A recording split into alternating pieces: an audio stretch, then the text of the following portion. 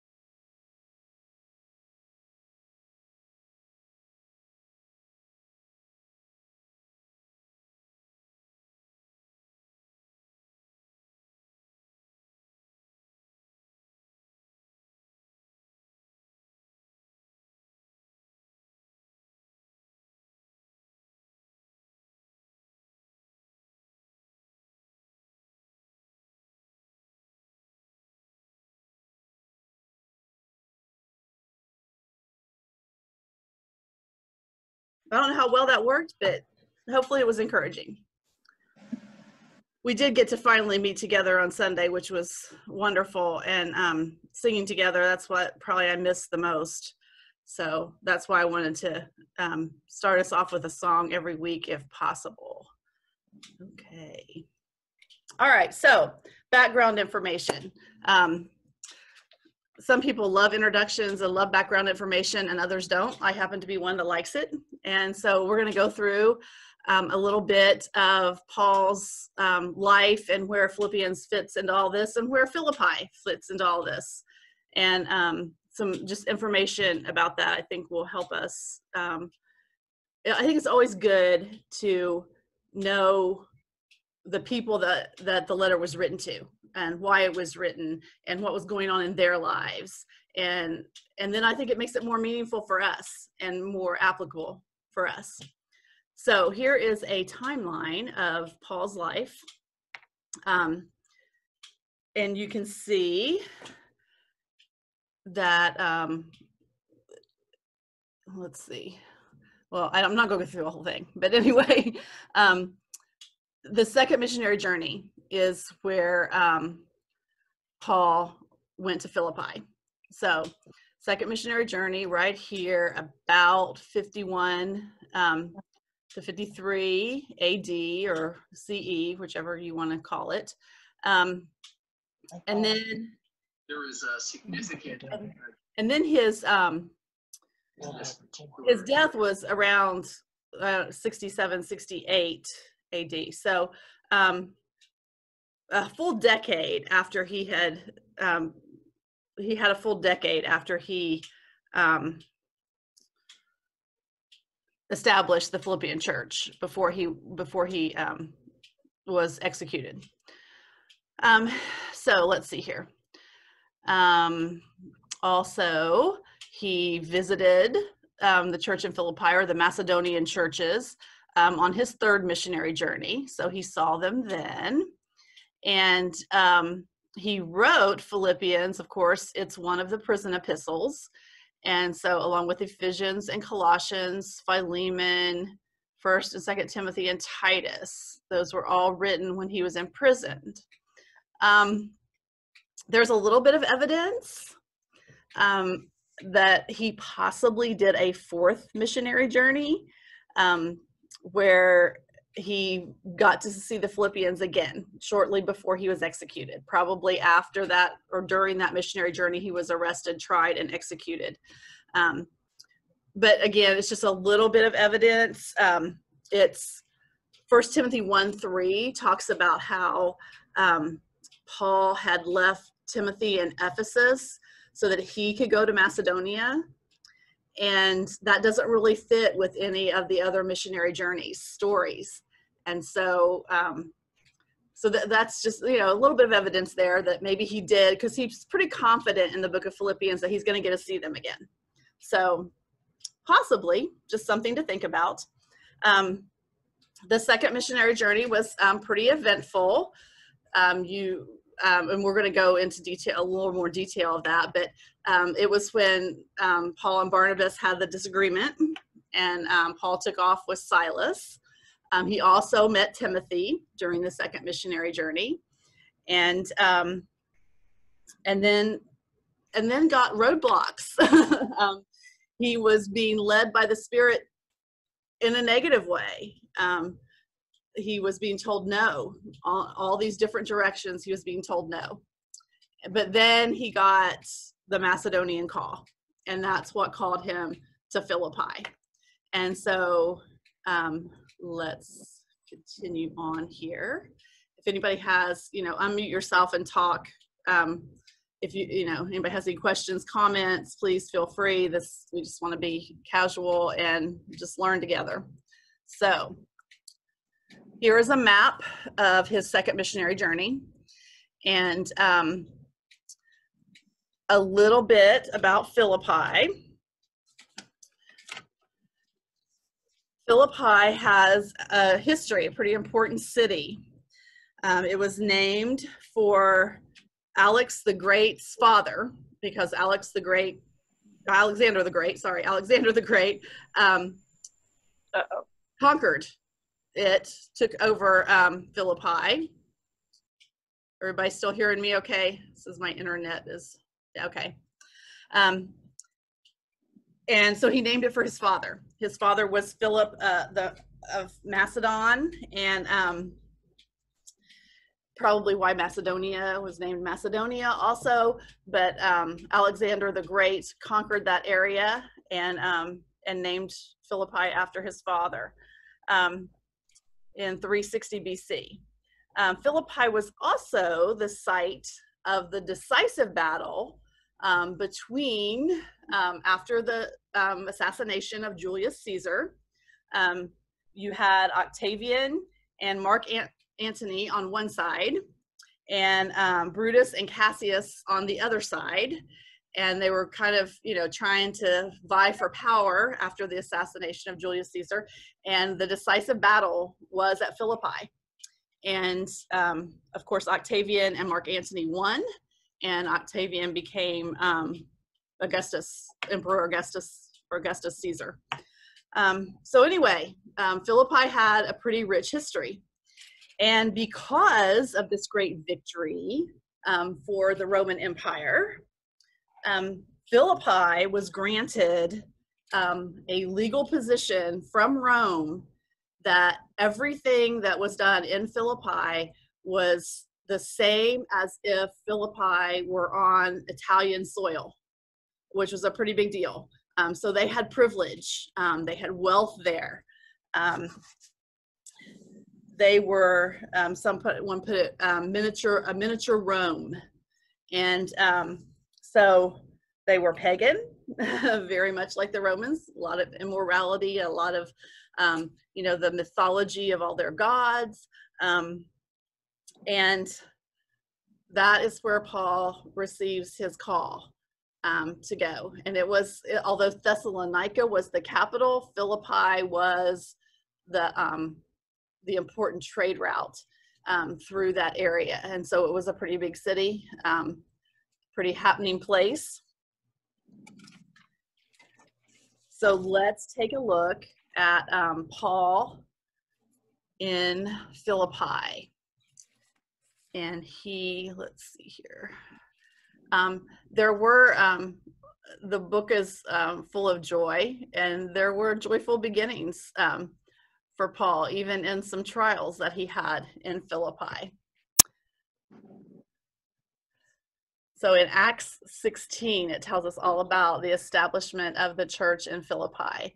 And it starts with um, having been told no to go to Asia and having been told no to go somewhere else.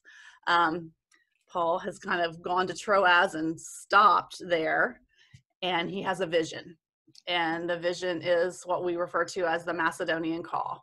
A man from Macedonia calling, "Come help us," um, because they needed the Lord. They needed um, the salvation that Jesus provided, and so um, he then knew the direction to go. Um, he knew where he was um, going next in this second missionary journey. And so the very first thing, um, they get to the city and they didn't, there was not a synagogue, most likely, because most of the people in Philippi would have not been Jewish. Um, they would have been Gentiles. And um, so, you know, Paul, that was Paul's habit a lot of times, as it was Jesus' habit to go to the synagogue. And so, um, it says, so setting sail from Troas, we made a direct voyage to Samothrace and following and the following day to Neapolis and from there to Philippi, which is a leading city of the district of Macedonia and a Roman colony. We remained in the city some days. So they were there for quite a few days. And on the Sabbath day, we went outside the gate to the riverside. And that most likely, um, I think a lot of places where there was not a synagogue, where there was not a very big Jewish population, that's where the Jews would gather. They would go outside the city gates and worship. And so that's where he finds um, Lydia and um, some women with her. Um, we went outside the, the gate to the riverside where supposed there was a place of prayer, and we sat down and spoke to the women who had come together. One who heard us was a woman named Lydia from the city of Thyatira, a seller of purple goods. So, a businesswoman, um, a devout Jew who was a worshiper of God. And the Lord opened her heart to pay attention to what was said by Paul. And after she was baptized, and her household as well, she urged us, saying, If you have judged me to be faithful to the Lord, come to my house and stay. And so there was the first church in Philippi, um, in Lydia's house. Um, because of her hospitality and her generosity. Um, she um, invited them to use her home. And so we have some other eventful things that happens um, in Philippi. As we were going to the place of prayer, we were met by a slave girl who had a spirit of divination and brought her owners much gain by fortune telling. She followed Paul and us, crying out, These men are servants of the Most High God who proclaim to you the way of salvation. And this she kept doing for many days. And she was, I mean, she was testifying, she was telling the truth. Um, this spirit that was within her um, was recognizing that these men were servants of God Most High and that they were they were proclaiming and teaching the way of salvation. Um, however, Paul became greatly annoyed. Um, and I think that you'll see by the time he wrote to the Philippians, he had changed his mind a little bit on this. Not that you want um, a, a demon possessed person testifying about Jesus, but Jesus was still being proclaimed and the way of salvation was still being proclaimed. And, um, and Paul writes a little bit about that in Philippians. So, anyway, um, Paul, having become greatly annoyed, turned and said to the Spirit, I command you in the name of Jesus Christ to come out of her. And it came out that very hour. And so, you know, that was also used as an evidence of his authority, um, that he had command over demons. Um, and I'm sure helped um, further the cause of Christ in Philippi. However, um, her owners or the people that um, were using her. But when her owners saw that their hope of gain was gone, they seized Paul and Silas and dragged them into the marketplace before the rulers. And when they had brought them to the magistrates, they said, These men are Jews, and they are disturbing our city. They advocate customs that are not lawful for us as Romans to accept or practice. So, again, once, you know, the money was um, being put in jeopardy, um, then Paul and Silas are being thrown in prison. Um, and that's what it was. It was more about the money that they were, were, not going to be able to make than it was about anything else. But um, which this, you know, seems like this is a very dark time. Paul is being thrown in prison. But here we see joy again. Um, the crowd joined in attacking them, and the magistrates tore the garments off them and gave orders to beat them with rods. This is not a good scene. Um, and when they inf- had inflicted many blows upon him, they threw them into prison, ordering the jailer to keep them safely. Having received this order, he put them into the inner prison and fastened their feet in stocks. So they weren't just put, you know, in prison a little bit. they were thrown on the inner prison. They were put in stocks. They were, had guards around them. Um, this was, again, not a good situation. And about midnight, Paul and Silas were praying and singing hymns to God, and the prisoners were listening to them. And there's that joy. And suddenly, there was a great earthquake, so that the foundations of the prison were shaken. And immediately, all the doors were opened and everyone's bonds were unfastened. When the jailer woke and saw that the prison doors were open, he drew his sword and was about to kill himself, supposing that the prisoners had escaped, that he was under order to guard. But Paul cried out with a loud voice, Do not harm yourself, for we are all here. And the jailer called for the lights and rushed in, and trembling with fear, he fell down before Paul and Silas then brought them out and said, Sir, what must I do to be saved? Uncommon joy, uncommon compassion. That's what won the Philippian jailer to Christ. Um, he saw in Paul something he probably had never seen in his life. And um, the joy, praying and singing um, inside, you know, when you're inside a prison, you know, accused for something that you really didn't even do. Um, uncommon joy and then uncommon compassion. We're all here. We didn't run, we didn't escape.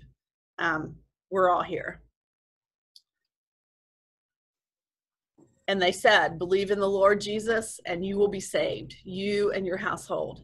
And they spoke the word of the Lord to him and to all who were in his house.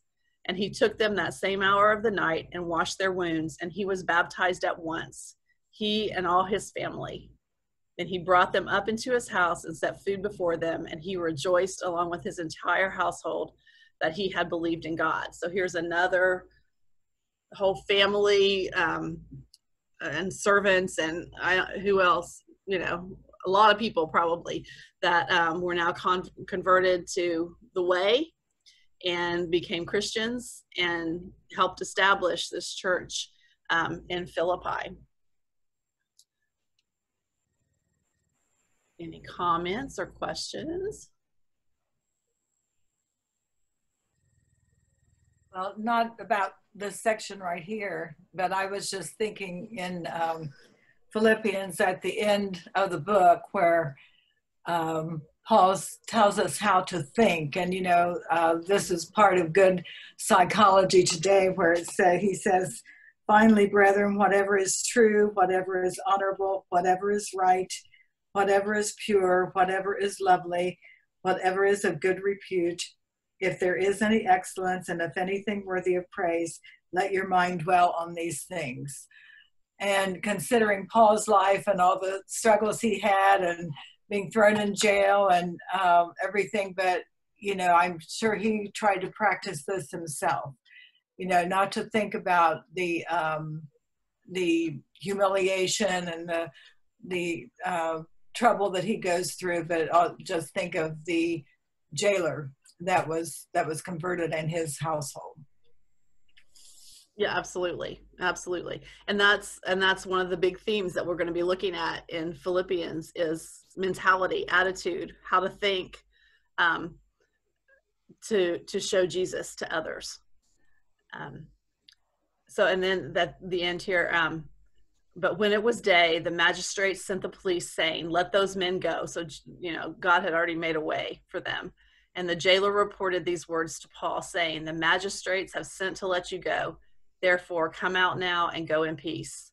But Paul said to them, They have beaten us publicly, uncondemned, men who are Roman citizens, and have thrown us into prison. And do they now throw us out secretly? No. Let them come themselves and take us out. And the police reported these words to the magistrates, and they were afraid when they heard that they were Roman citizens. So they came and apologized to them. Now we see a whole different they look here on those magistrates and policemen. And they took them out and asked them to leave the city. So they went out of the prison and visited Lydia. And when they had seen the brothers, they encouraged them and departed.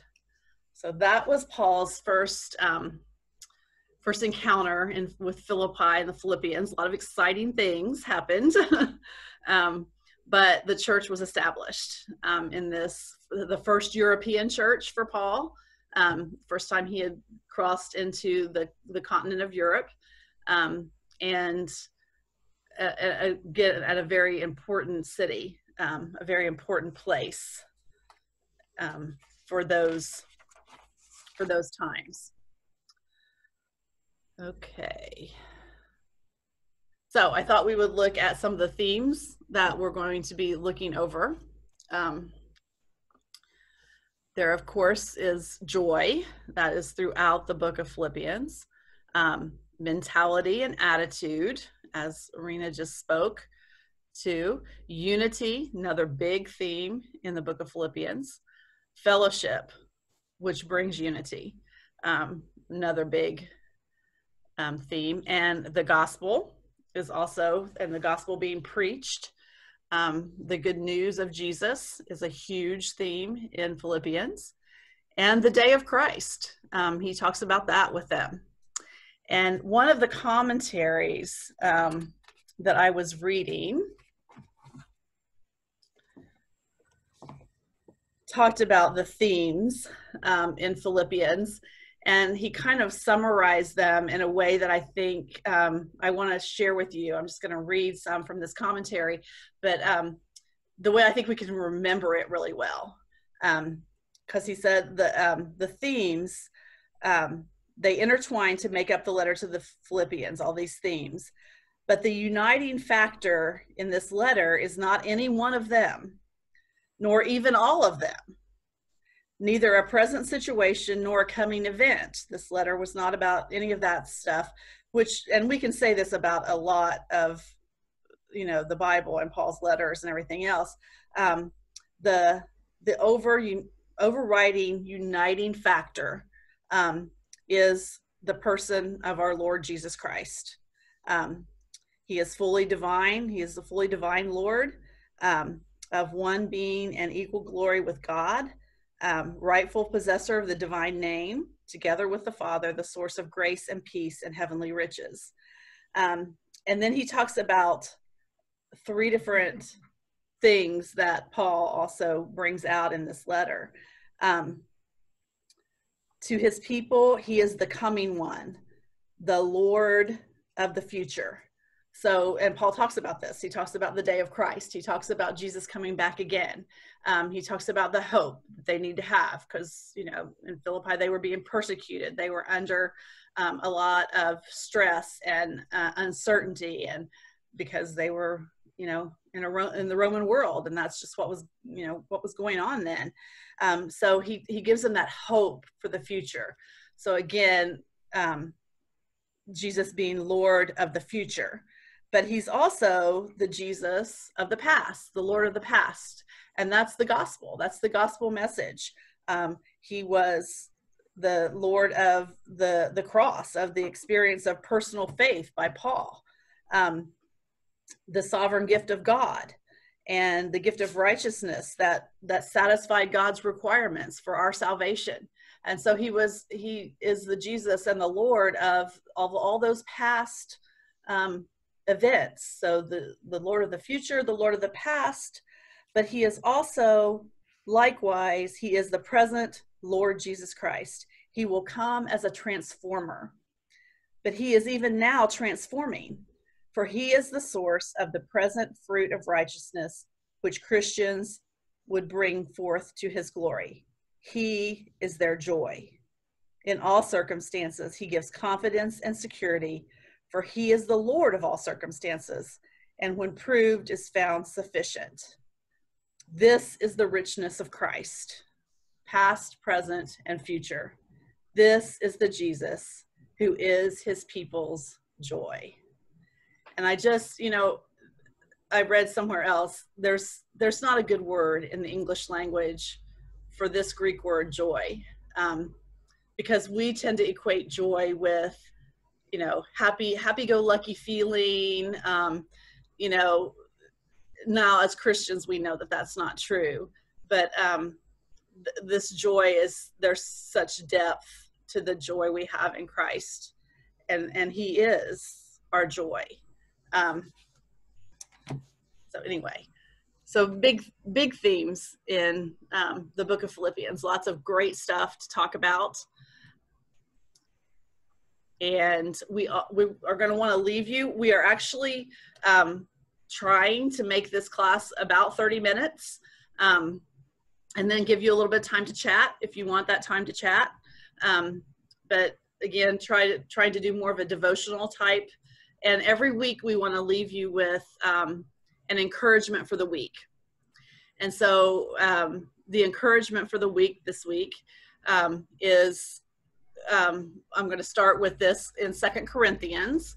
Um, Paul writes about the Macedonian churches, about Philippi, and he says, um, in the midst of a severe trial, their overflowing joy so in the midst of a very severe trial, and you know, just we're we're in a very severe trial right now, um, and in a lot of different ways. Um, their overflowing joy and their extreme poverty, things that you think don't go together, go together. and welled up in rich generosity. And Paul was so thankful for them because they were there for him um, and, and uh, generosity in prayer and generosity in service and generosity in financial um, help. They were there. Um, and so I love that, that, um, that quote there, that verse there about the Macedonian churches um, and their overflowing joy um, and extreme poverty welled up, it, it resulted in rich generosity. And so, encouragement for the week. I found a nice little quote here. Joy is not the absence of trouble, but the presence of Christ. And that is from William Vanderhoven. And so I challenge you this week to think about where in your life are you hungry for joy? think about some situations think about um, things that are going on circumstances because we're going to be talking about a lot of different circumstances and two what can you do daily to express the joy you've been given so freely in christ um, because of him there is that rich deepness uh, um, of joy that that can't compare to anything else um, because of the hope we have. Um, anyway, so a couple a couple things to um, to challenge you throughout the week. Um, just daily think about something that you are joyful about in Christ and um, try to find places in your life where you need more joy and and put Christ there um, and and read over Philippians um, a few times. It's only four chapters. You can do it, and um, and we'll and we'll be back next week. And Lynn will be teaching next week. Um, so if you will all um, pray with me, and then we'll chat. Unless any oh, does anybody have any comments, questions, concerns?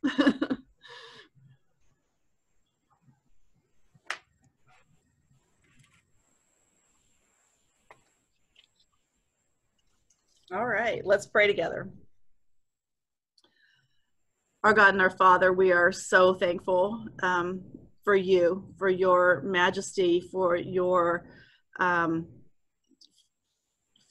for your just great awesomeness, um, for you, for the creator that you are, um, and for the sustainer of our lives that you have become, for being our Lord, um, being uh, our uh, our Savior, you know, giving us salvation. Um, you are just everything, Lord. Um, and we're so thankful for the joy that we have in you. Um, we're thankful for um, our F&K family. We're thankful right now for Zoom and for the way that um, we can be together even when we're not together. Um, and so that's just an incredible blessing in these times, Lord. I thank you for um, for the ladies that have gotten um, the VBS together um, for this summer. And I just pray that um, you will bless um, our Bible school this summer and that many people will um, be reached through that, that um, the kids will grow in their knowledge of you. I thank you for our F&K family and the way that they've supported us, our ministers, our deacons, our elders, and just the way the way they've been there for us through this covid crisis and through this time of social unrest and just they just keep feeding us lord and we're so thankful for that um, i ask now that you'll be with those who are hurting with those who um, need your help in a special way you know who they are um, especially tonight we ask that you be with the ruiz family um, in their loss this week and just comfort them and help us to be a comfort to them um, and just go with us through the rest of the week, Lord. Um, give us joy every day. In Jesus' name we pray. Amen.